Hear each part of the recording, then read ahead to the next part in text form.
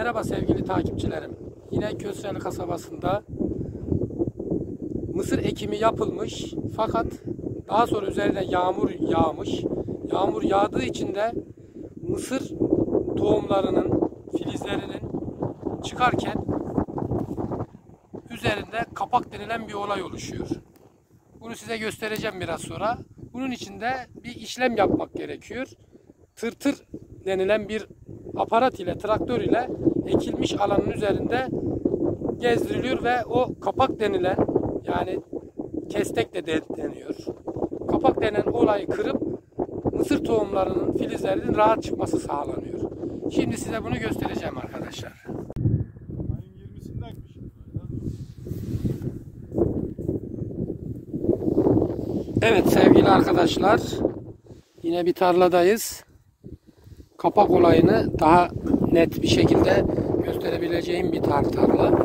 Gördüğünüz gibi bakın bu hiza şu çıkıntılı yer çıkıntılı gördüğünüz yer mısırın çıkacak olduğu yer. Mizlerin baskılarının izi ve şurada görüyorsunuz bir tane parça kalkmış. Bunun altında mısırın mısırın filizi var arkadaşlar.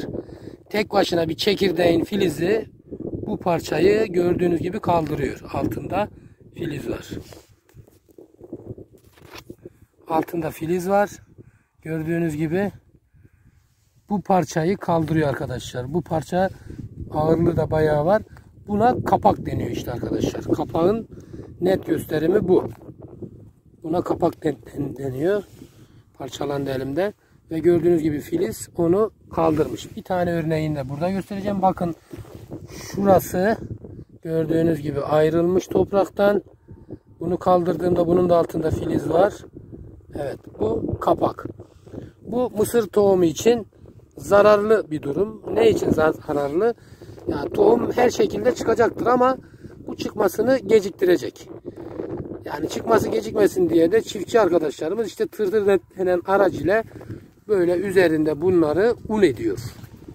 Evet arkadaşlar. Evet bir örnek daha göstereceğim. Kapakla alakalı bir örnek daha. Şu gördüğümüz parça kapak olayını netleştiriyor. Yani mısır ekiminden sonra yağmurun yağmasıyla toprak böyle kaymaksı bir görünüm oluşuyor ve kabuk tutar gibi oluyor. Çatlamalar oluyor. Bu da tohumun üzerinde tohumun çıkmasını engelliyor. Gördüğünüz gibi bunun da altında bir filiz var.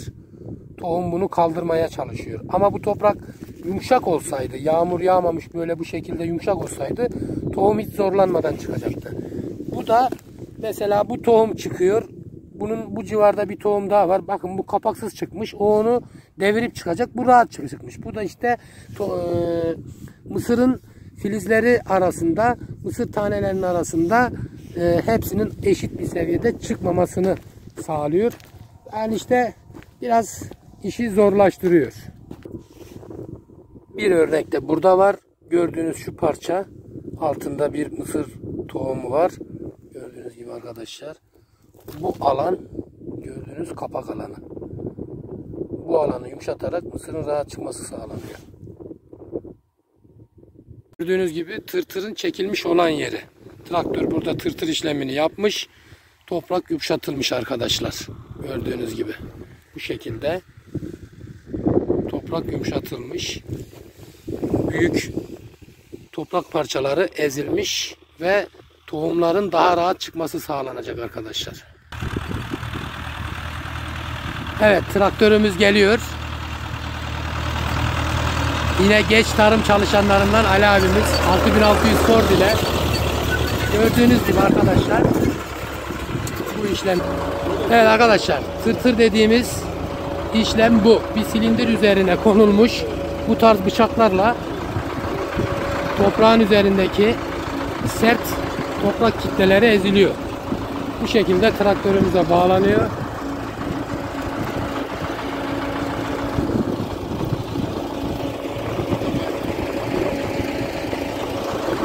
Traktörümüz yadigarlardan Ford 6600 gördüğünüz gibi geç tarımın en yaşlı traktörlerinden arkadaşlar. Mondere'nin ağırlıklarından takılmış. Maşallah saat gibi çalışıyor.